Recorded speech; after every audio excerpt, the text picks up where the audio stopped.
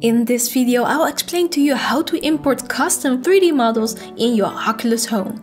With this feature, you can add anything you want in your home to show off to your VR friends. Right now you can see my Oculus Home. There are two ways to import custom 3D models. You can either find a model online, like my favorite Final Fantasy X character here, or you can create your own and import it, like this one I made of Rocket.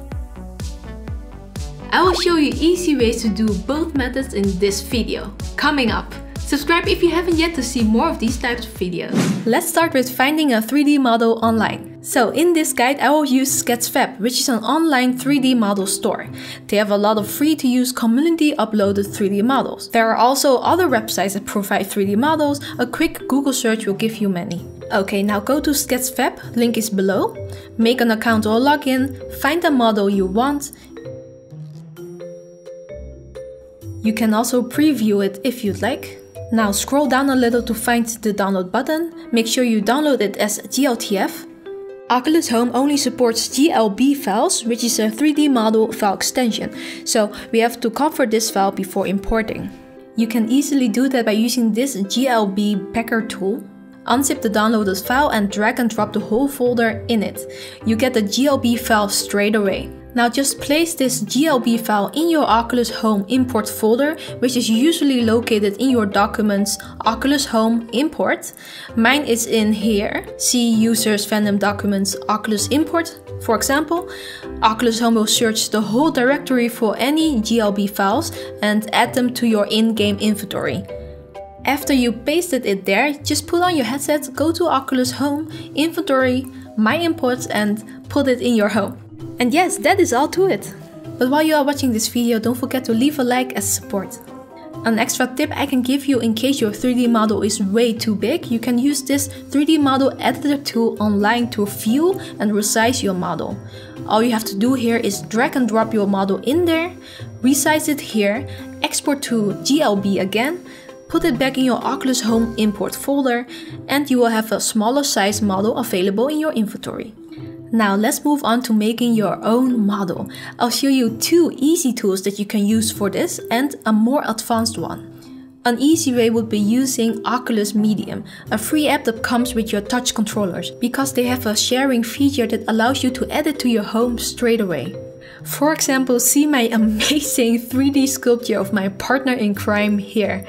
Yes, please don't judge my 3D creation skills. Select share and then share to home. You can set a title here and detail level. Go for low if you plan on copying this model many times in your home. High for special objects that you just want to showcase. Click the check mark once you're ready.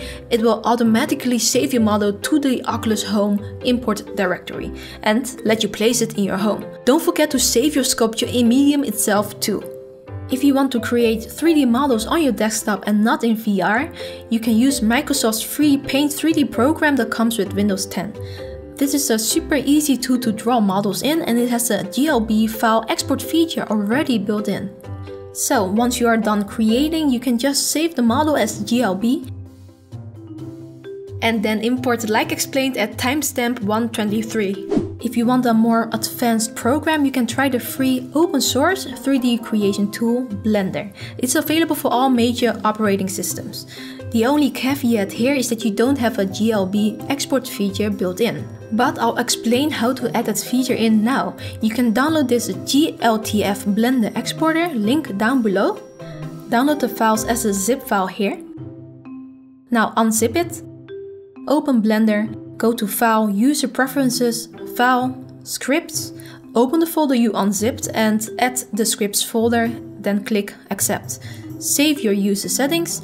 Now restart Blender, go to File and User Preferences again, go to Add-ons, type in GLT in the search field, check the checkbox, save user settings again, close the settings, go to File, Export, and now you'll find the GLB export settings here. Now you can create anything you want and export the file in GLB and then import it like explained before. There are a couple of really nice and free 3D creation tools available online. Uh, you can even download 3D creation apps for your tablet or probably also for your phone. So I would say go crazy and let us know down below what you've made and also import it into your Oculus Home. We would really love to know and see. You can visit Chary's home or my home, they are both set to public. I've added our usernames in the description down below. Chary has a really beautiful one too, she has a different design style and I feel she has more of an artistic eye than me, so check it out if you have the time. But if you want to see my beautiful, very resembling creation of Cherry, then you gotta check out my home too. Have fun everyone and thanks for watching. A special thank you goes to our patron Art Armin. Check out his Patreon page as well. Thank you so much for your support man. We really appreciate it. And also always VR on.